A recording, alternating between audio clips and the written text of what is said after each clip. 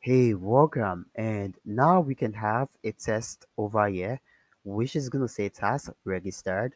And over here, we can choose either yes or no. Okay, now to do this, first of all, with my explanation, you can see these two are going to be displayed from left to right, that is horizontally. And for this purpose, we're going to be using a widget known as row. A row can take multiple widgets which are going to be displayed horizontally. And for this purpose, it has these children because it can take multiple. Sorry, this should be within the column and outside this padding. And row and children. Okay. And the first widget of the row is going to be a text widget. And this is going to say task registered function and we can style this. We can give a font size to this. I think the default font size is 14 and we can increase it a bit to 16 and also we can make this a bit border font width font width instead of saying bold we can also say w. Sorry font width dot font width dot word font dot w 500 we do not want it to be that bold. Let's control S to save now and you're going to see it over here. Okay okay okay. Wait for this great and over here we want to be able to select from either yes or no. And in order to achieve this we're going to be using a widget known as drop down button form field. Okay right after this we can have a trim comma and drop down button form field this is it over here and the drop-down button form field has a property known as items, which is basically referring to list of items, right? So what we can do is over here, we can create a list and it's going to be a test. So we can say it's going to be string and we can call this uh, task options. And we can set it to yes and no. Great. And the next step is to map over each item we have or loop over each item we have. And now we can then say underscore as options then dot dot map. Great. And over in this and see the type and we can copy this to say is the type of this over here copy. And paste this over here. We're gonna okay we can paste this over here. Where should be the best? Okay sorry. Before this paste this over here. And we can get rid of this and instead of dynamic we can say string or you can just say dynamic but basically we are expecting string or strings or text and instead of this e the e is referring to the value right? And we can just it's, it's going to be a type of string and value we can call this value or you can just call yours e. And we can get rid of this type of function and instead we can return return something known as drop. Drop down menu item.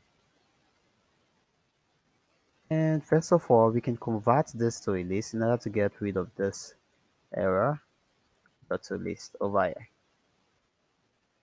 And the child the child Um, also, we can specify it's going to be a type of string over here. Okay, this is basically how you should do it, and you can always string and the child is going to be a text widget. And we can call this value. The value over here. And we need this okay. And within the drop down button it also do has sorry to have a property known as value and we can set it to value. We're basically looping over each item we have and we save the variable we save the value of the loop of the each item in this variable called value and over here we're basically using it. That is yes we saved it here and no we saved it here. And we're basically using it. And then we are having a text widget to display that value. And hopefully understand all this. And for the on change I'm take in the value that is the selected value that is if it's either yes or no. And we basically want to set state in order to update the UI and we want to update the options to sorry what we can also do is we can create a variable via and create a variable via because in the future we're going to be able to store the value of whatsoever the user is going to pick. That is if the user is choosing yes or if the user is choosing no. And we can call this task status and you can make this late or you can just say string and add this over here. Okay. In our change we want to set the value to task status. Value. Okay. Save this now and let's try this out. And hopefully understand all this. This really took a lot. Okay. Okay. And and and and and. Okay okay now we can't see this because when using a form field or a text form field within a within a row you have to wrap it with a flexible widget. I think i've i've told you this before right? And we can wrap this with a flexible widget. Flexible. Function s to save. And we should be able to see this now and and and and and and and and and and and wait for this a bit okay great and you can see it looks uh two it looks uh two and we can choose either okay you can see we can choose now and yes no and you can see this looks to uh a wide and what we can also do is we can wrap this with a container in order to have access to the width and height property. Wrap with widgets since we do not have it over here. Okay we have. And we can set the width to 100 and see how it's going to look first of all.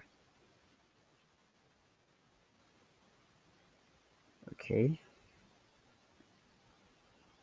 okay waiting for this. Sorry it's taking longer. I'm really sorry. Really really sorry. Okay i think this is a bit uh smaller now. Okay great. And also within the drop button form field it has a property known as hint which is more like the placeholder. And we can say select okay good. And then then then then then then. Okay. And over here we can then say main axis alignment main access axis alignment dot space between and hopefully understand all this. And if you don't please please do what to let me know. And i'm going to explain it for you personally. And go check this out now. And looks good. And now we can wrap this with a pattern okay